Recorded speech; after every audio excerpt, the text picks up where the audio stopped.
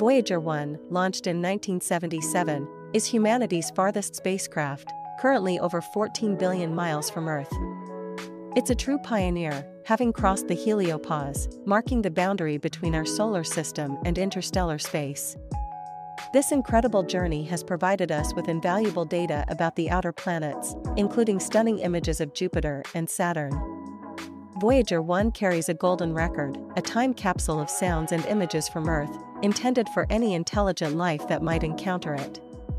It's traveling at about 38,000 miles per hour, and despite its distance, it still communicates with us, sending back data that helps scientists understand cosmic phenomena.